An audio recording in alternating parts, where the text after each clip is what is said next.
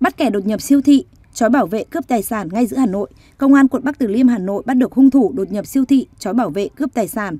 Ngày 7 tháng 12, Công an quận Bắc Từ Liêm Hà Nội cho biết đã làm rõ và bắt giữ được đối tượng đột nhập siêu thị, chói bảo vệ cướp tài sản là Nguyễn Minh Chức, sinh năm 1997 ở xã Giao Lạc, huyện Giao Thủy, Nam Định.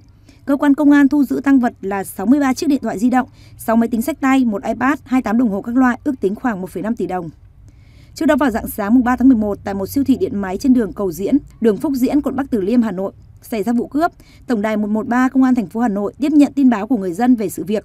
Trung tâm thông tin chỉ huy Công an thành phố lập tức điều động các lực lượng đến hiện trường xác minh xử lý vụ việc.